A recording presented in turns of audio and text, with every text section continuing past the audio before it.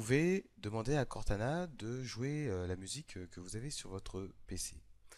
Ce que vous devez faire dans un premier temps, c'est de configurer Groove. Je vais taper Groove, c'est le lecteur de fichiers multimédia de Microsoft sur euh, Windows 10. Et ici, vous faites OK. Et dans la musique, il hein, faut bien être dans cette section. Là, vous allez sélectionner un emplacement de recherche. L'emplacement de recherche que je vais lui euh, indiquer, en fait, pour faire simple, c'est mon bureau. Comme ça, la recherche sera beaucoup plus rapide. Il n'y a qu'un fichier.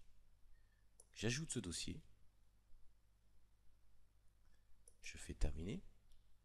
Et il a trouvé le fichier que j'ai euh, sur mon bureau. Donc je peux euh, le lire. Il n'y a aucun souci avec cela. Je ferme Groove maintenant. Dans Cortana, je vais lui dire que je veux jouer la musique de mon ordinateur. Jouer ma musique.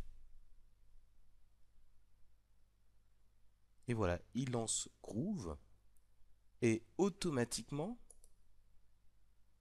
mon morceau est lancé.